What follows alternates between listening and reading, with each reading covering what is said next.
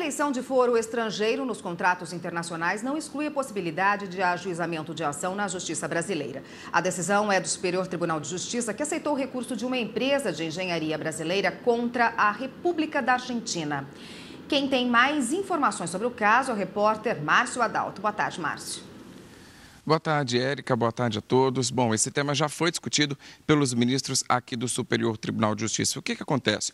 Uma empresa brasileira assina contrato com uma empresa de outro país e uma cláusula elege a justiça daquele país para resolver os conflitos contratuais. Mas o que muita gente não sabe é que essa regra não impede ah, de ajuizar, né, o ajuizamento de ações aqui no Brasil. Ah, isso aconteceu porque uma empresa ficou responsável por construir a embaixada da Argentina e houve problemas contratuais. Como a empresa é brasileira, decidiu fazer valer o direito aqui no STJ. O ministro Raul Araújo disse que não vê nenhum problema em eleger outro foro de outro país em um contrato, mas que excluir a justiça brasileira é um desrespeito à soberania nacional.